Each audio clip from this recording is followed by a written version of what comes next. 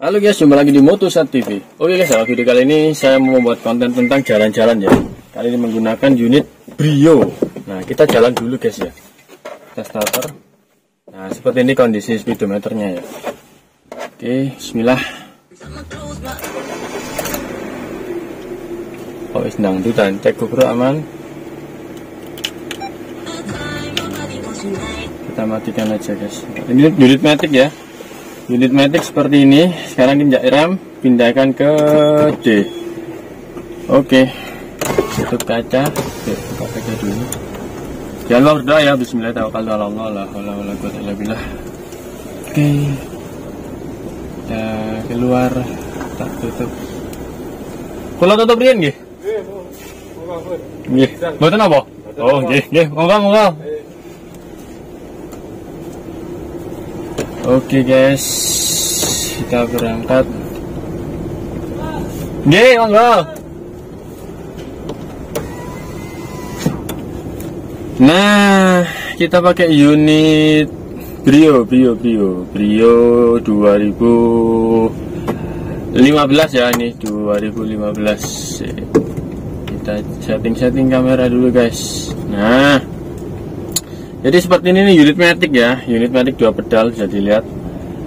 Uh, yang pertama kali dirasakan adalah ini posisi berkendara yang rendah ya. Rendah banget ini kayak sedan naiknya. Bener rendah banget. Oh, sudah auto lock ya kecepatan 20-an di sudah auto lock sekarang kita tes ini. Kita coba lihat kondisi luar ya tampak luarnya seperti apa. Kita sen kanan. Wih suara sen keren ya Oke, kita berhenti di sini, guys. Nah, oke, kita berhenti dulu di sini. Oper netral ya, handbrake. Nah, gini aja, matikan sen. Oke, sekarang kita ambil nyalakan AC ya, benda dingin.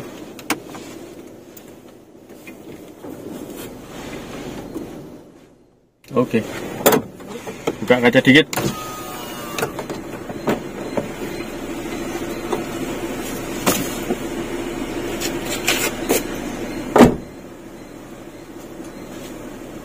Nah seperti ini guys tampilan luarnya ya Brio 2018 ini ya. Nah seperti masih mata-mata jelong belum mata yang sipit ya belum yang facelift terbaru. Ini tampak depan ada fog lampnya juga warna biru. Oke sekarang dari samping. Nah dari samping seperti ini ya. Jadi sudah, warna body untuk handle-nya. Spion juga sudah warna biru. Untuk velg dia masih single tone ya. Depan cakram belakangnya tromol Oke untuk kondisi belakang seperti ini ya. Nah sudah ada sensor parkir bawaan Ada wiper, ada high mount stop lamp. Nggak pakai spoiler ya. Ini spoiler sih, ini spoiler. Ada spoilernya ini.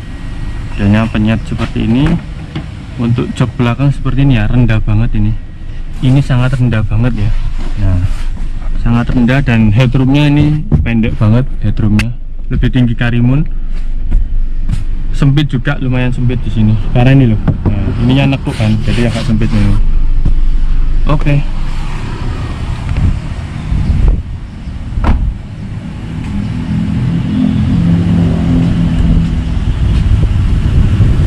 nah. Sekarang kita masuk. Uh rendah ini guys. Ininya rendah banget ya. Joknya ya. Jadi mirip-mirip sedan memang Yos, kita cek GoPro aman ya. Aman, oke. Okay. Jangan lupa berdoa ya Bismillahirrahmanirrahim. Ya, ini kaki kiri saya nyari kopling dari tadi. Saya lupa ini bawa matic ya. Cek GoPro aman. Kita tutup kaca. Injak rem, pindah ke D. Lepaskan handbrake. Dilepas sudah mulai jalan ya. Jadi tak dompetku guys. Gak enak soalnya ya. Kalau ada dompet di saku itu duduknya boleh nggak enak. Ini pakai CVT ya metiknya metik CVT untuk uh, jendela sudah auto down dan auto up. Ini lebih bagus dari mobilio yang 2015an kemarin ya yang pernah kita buat videonya itu. Nah kita keluar perumahan dulu. Awas rem.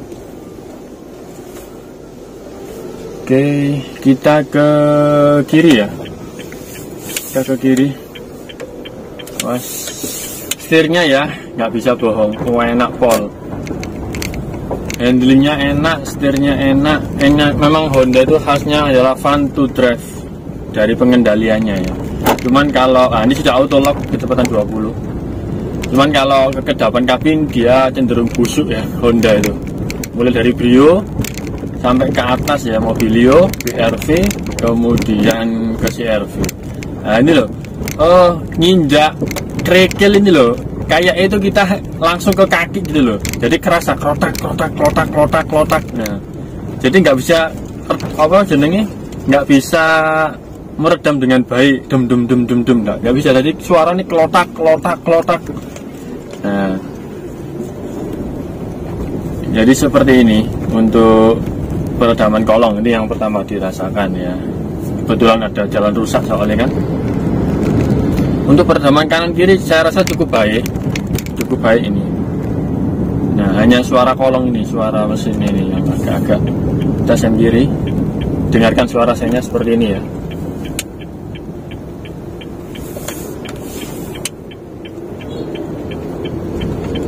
Khas ini ya. Kita atur dudukku dulu khas CVT ya. Saya itu nggak suka CVT sih tak atur auto mirror eh auto mirror electric mirrornya ya. Kurang ke bawah yang sebelah kiri. Nah sip. Oke. Okay. CVT itu tarikan bawah ya agak lemot menurut saya loh ya. Kalau buat stop and go kurang enak. Berhenti dari berhenti ke jalan itu dia harus injak gasnya itu harus diurut ya harus pelan-pelan. Oh. Kalau nggak gitu dia agak lemot. Pas oke. Okay. karena mobil kita kecil jadi bisa papasan. Nah ini Agia saingannya ini Brio. Sama-sama 1200 kalau yang TRD itu ya. Ini Brio bukan bukan yang Satya ya ini ini bukan tipe Satya kita sendiri. Dilihat dari ini apa namanya? Setirnya ini ada audio steering switch. Nah ini loh. Ini ada audio steering. Kemudian untuk dashboardnya ya beginilah dashboard kaku-kaku gini. Cuman lumayannya yang bikin kita agak mendingan lah. Itu warnanya dual tone ya me, uh, apa namanya hitam sama beige lumayan lah lumayan lumayan lumayan nah sekarang apalagi ya visibilitas ya. Tadi rasa duduk sudah agak rendah ya kayak sedan. Kemudian visibilitasnya cukupan lah enak cukup lebar. Meskipun kap mesinnya nggak kelihatan ya kap mesin nggak kelihatan. Kemudian AC nya AC-nya lumayan dingin. AC-nya lumayan dingin ya. Cuman hembusannya ini nggak kencang ya. Hembusannya nggak kencang. Harus speed fan 2 ini speed fan 2 Uh, ya ini hembusannya masih kencangan si Karimun. Cuman dari segi dinginnya lebih dingin ini. Ini lebih nyes gitu loh. Dinginnya dingin ini cuman hembusan anginnya lebih kencang si karimun saya. Seperti itu guys. Nah sekarang untuk suspensi ya suspensi susu. Mirip-mirip LCGC ini kondisinya masih terhitung baik ya. Ini berapa ini? Odometer lagi kalau gini MID ini mana ini? Saya nggak begitu hafal. Oh ini loh dia di atas. Nah ini loh. Average 14,3 oke. okay. 98.000 ya untuk apa namanya untuk trip eh trip odometer. Odometernya awas kanan kiri 98.000 untuk mobil hampir 100.000 ini masih kondisi cukup bagus. Terutama kaki-kaki ya belum terlalu parah bunyinya. Masih bisa meredam dum dum dum dum biasanya sudah gemelodak gelodak gelodak gelodak seperti itu guys ini lewati jalan yang agak-agak bumpy ya. Ya agak-agak bumpy. Nah seperti itu guys. Kemudian apalagi apalagi? Karakter suspensi ya. Karakter suspensi bisa dibilang cukup keras. Cukup keras kalau melewati polisi tidur ya dem dem dem dem kamera kaki oke okay ya? Mohon maaf kamera kaki settingannya bingung saya guys. Karena dashboard ini nggak mau lengket gitu loh. Bukan dashboard kasar. Dia nggak bisa lengket. Ya kita sendiri biar pickupnya nyalip. Nah kalau di jalan kasar gini baru ada suara. Letak letak letak letak. Ini espresso espresso mobil Mr. Bean si kecil. Ternyata lebih enak dari Karimun loh. Untuk pengendaraannya loh ya untuk rasa berkendaranya untuk suspensinya untuk getarannya lebih enak espresso daripada si Karimun. Cuman untuk desain masih bagus Karimun wagon. Seperti itu guys. Ya wes kita balik ke brionya lagi ya. Nah jadi seperti ini untuk interiornya. Ini first impression aja ya. Pertama naik brio itu kayak gini rasanya. Posisi duduknya rendah kayak sedan. Ini rendah banget. Untuk saya tingginya 175 ini sangat rendah. Kemudian untuk dengkulnya ya memang nggak terlalu nekuk karena ini tak undurkan. Coba tak majukan ya nekuk banget. Nah, tempel enaknya kalau mobil rendah gini itu diselonjorkan agak ke belakang. Nah jadi kita agak-agak kayak sedan gitu ya agak-agak selonjoran cuman yang resikonya belakang. Belakang ini sempit banget loh. Kalian bisa cek ya kita, kita berhenti di sini ya. Eh kayak kok nyari kopling. Biasaan manual guys. Nah gini ya. Berhenti. And handbrake nah ini lebih sempit banget. Ini lebih sempit dari karimun. Si belak si depan nih eh belakang ini. Coba ini tak maju kan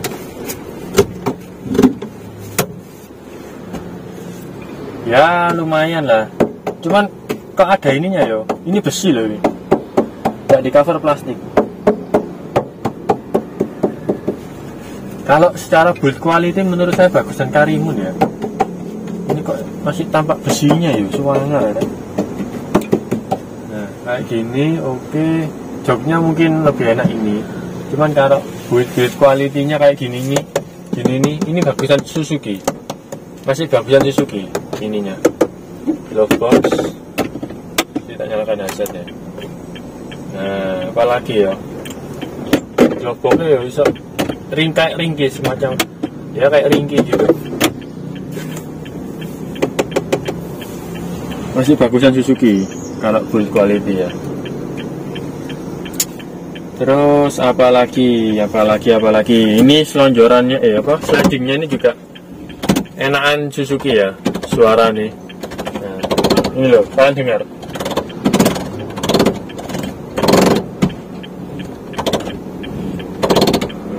Suaranya agak gimana gitu ya agak gimana suaranya. Terus ya harus ditutup. Terus dashboard seperti ini kita sambil jalan yuk. Over D injak rem lepas handbrake. Oke. Okay.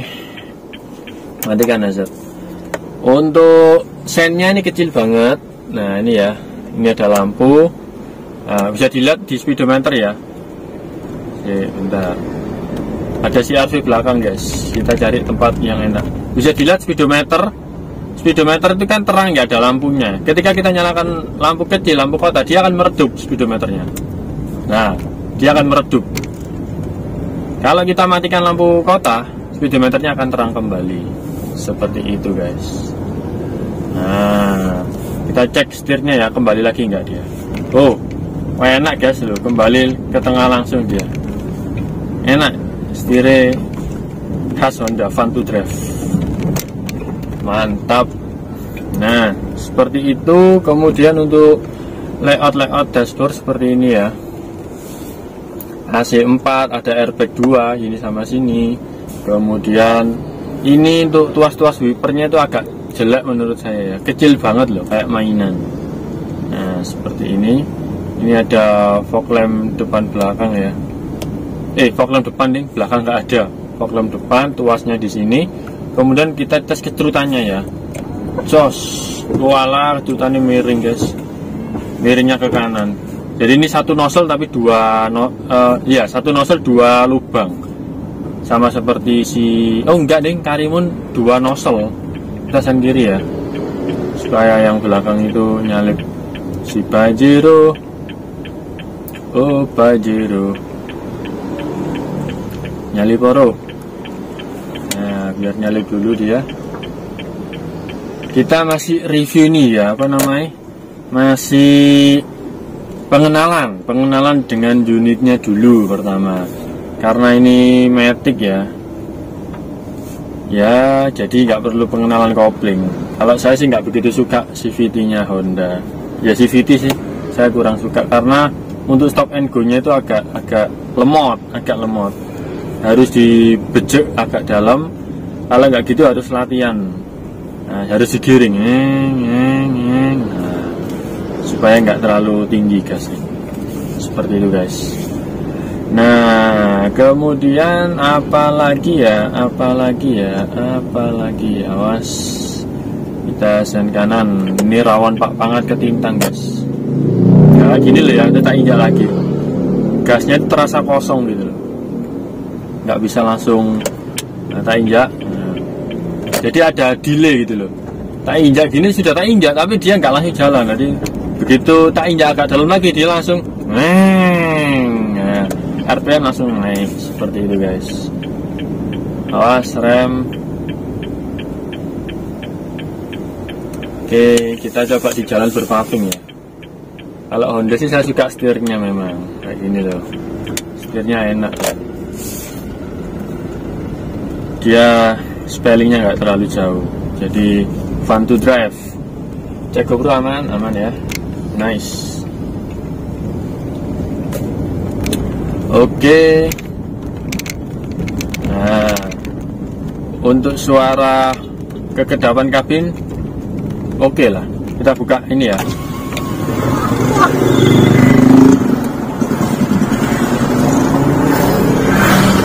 Tutup. Nah, cukup kedap. Cukup kedap. Untuk kekedapan kabin lumayan.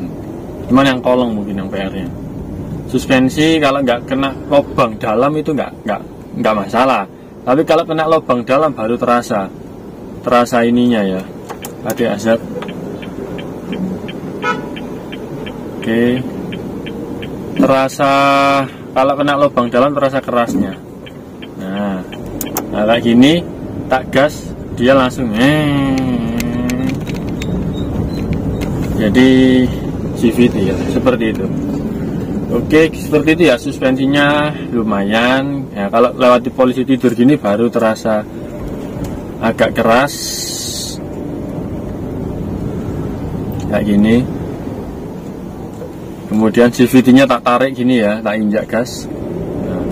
Dia baru nyaut. Hmm. nah, jadi agak delay ngelek gitu loh agak ngelek seperti itu guys kemudian untuk kekedapan kanan kiri oke okay ya.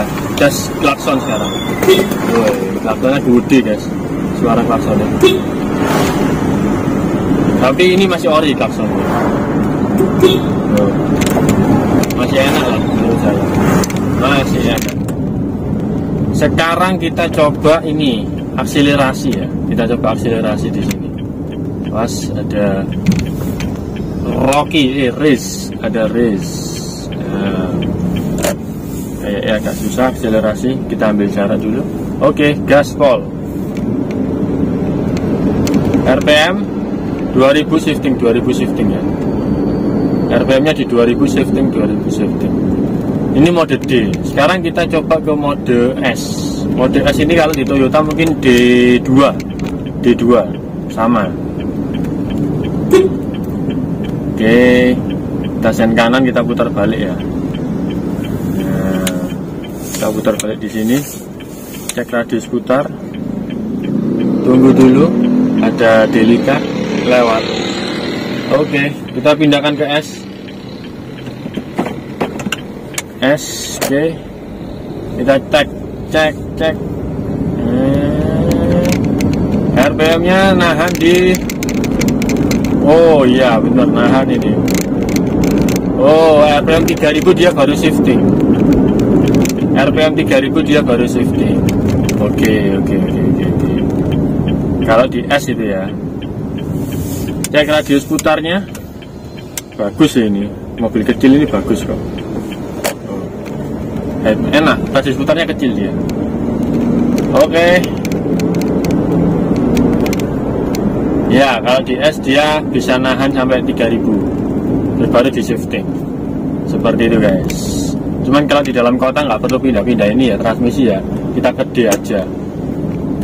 Nggak usah pindah ke S ke D nggak usah. Cukup ke D nah sekarang kita nyoba melewati kampung yang agak kecil seperti ini guys.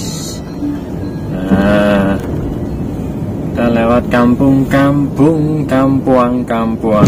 Oh oh lah kayak gitu kalau kena jalan yang berlubang agak dalam itu suaranya nggak enak. Jeduk jeduk. Ketahuan kerasnya. Tapi kalau sepaving kayak gini polisi tidur ya masih lumayan. Masih lumayan. Rem oke nah kayak gini masih enak masih lumayan. Tapi kalau sudah kena polisi tidur yang dalam jeduk jeduk. Wah gak enak. Gas yang kiri pas rem oke. Ya ini dia KKI Mobilio. Ya. Nah kayak gini loh. Jadi kalau mau ngegas itu agak dalam ya kalau CVT habis berhenti terus mau ngegas. Gasnya terlalu tinggi. Oh. Nah lo oh. Nah ini kalau diajak ngebut di jalan paving ketahuan nggak enak bunyinya jeduk duduk duduk duduk duduk duduk. Kalau pelan gini lumayan. Nggak terasa lah. Tapi begitu dikencengkan kayak gini ngebut ya. Wah itu ketahuan. Ledek ledek ledek ledek ledek ledek ketahuan nggak enak ini. Tapi untuk feeling feeling remnya enak ini. Feeling remnya dia nggak nggak. Serut langsung berhenti total enggak jadi dia pelan-pelan diinjak gitu serut. Enak. Kita kasih klakson dulu. Nah. Oke sekarang kita mau putar balik. Coba di jalan sempit seperti ini ya. Kita akan putar balik. Ini sudah menggunakan drive by wire untuk apa gasnya ya. Jadi nggak pakai seling kawat lagi jadi pakai drive by wire jadi lebih enteng jadi kita harus penyesuaian. Jangan sampai nginjaknya terlalu dalam. Oke sekarang tak jang kiri ya aku tak ke sini. Mau putar balik. Tak putar balik di tempat sempit seperti ini.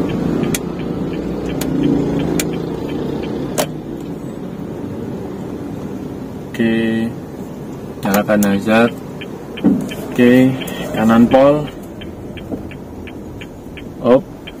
Oper ke DR awas belakang oper ke D apakah jadi? Langsung jadi guys hebat. Kecil soalnya ya. Cuman nggak enak eh ya itu tadi.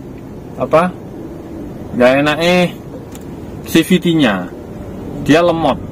Jadi diinjak agak diinjak sedikit nggak mau jalan diinjak agak dalam kengebutan mobilnya loncat. Itu ya harus pembiasaan memang. Terus apalagi ya tadi yang saya tangkap? Untuk perpindahan sistem gearnya oke lumayan lah. Kemudian ini dashboard menurut saya terlalu tinggi. Karena saya masih pemula ya. Awas mbak ngelamun. Karena saya masih pemula masih baru pertama yang biasanya naik mobil-mobil tinggi Avanza Xenia R3 kemudian bawa ini yang notabene pendek. Ini dashboardnya terlalu tinggi. Oh apa ini? Oke. Okay. nice. Oke. Okay. nah ini loh. Eh gasnya nyentek kita bicara dashboard lagi dashboardnya terlalu tinggi menurut saya. Atau lo, apa tempat duduknya terlalu rendah. Jadi kita nggak bisa lihat ngukur body.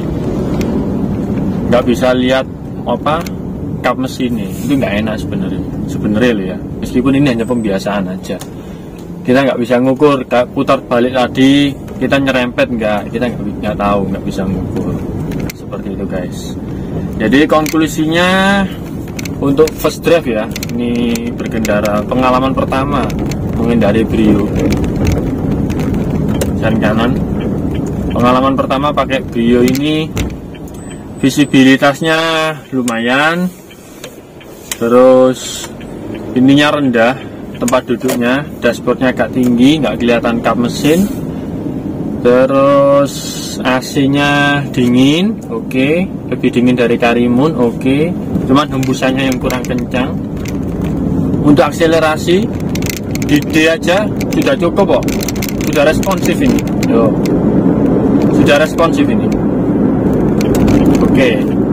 kemudian feeling remnya juga enak jadi smooth ya seru kayak gini nah, oke okay lah oke okay, oke okay. Radius putar kecil ya. Nah radius putar kecil.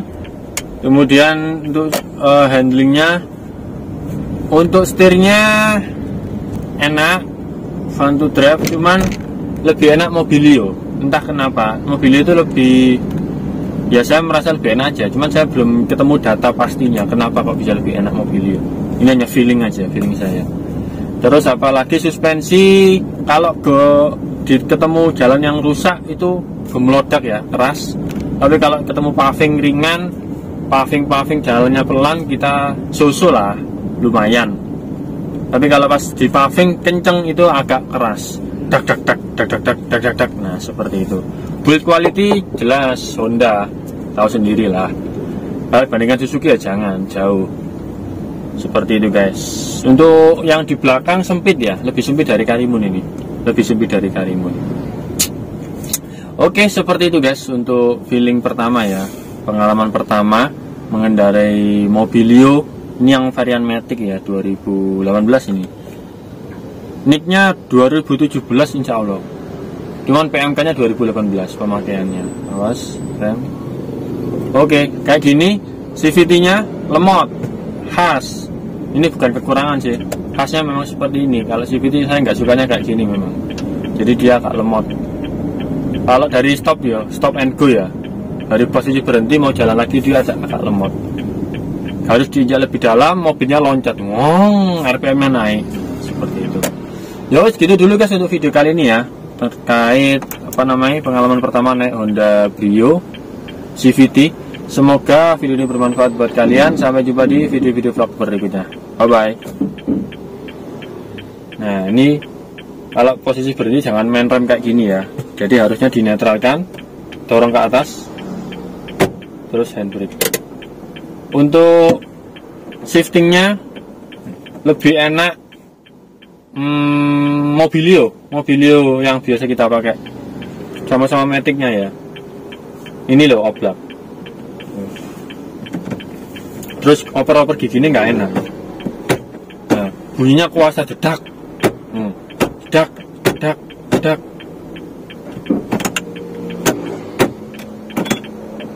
kamera mundur gak ada cuman ada sensor parkir oke okay lah.